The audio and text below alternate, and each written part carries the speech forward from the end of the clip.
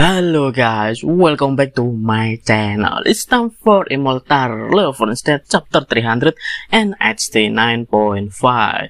With a fifth princess knowledge, her eldest brother was become the temporary demon emperor and gave the token to control gigantic abyssal well to the third prince.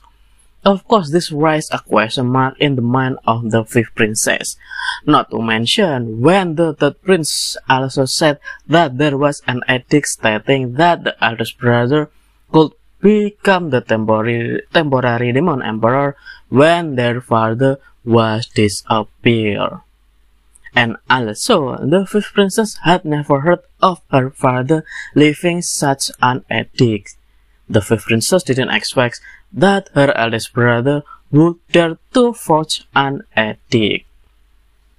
The third prince cut off the fifth prince's argument because she had been presumptuous and dared to slander eldest brother. The third prince gave the third, uh, the fifth princess one chance so that she would surrender. If not, the third prince would destroy the fifth princess the Princess Mason, and all the fifth princess followers.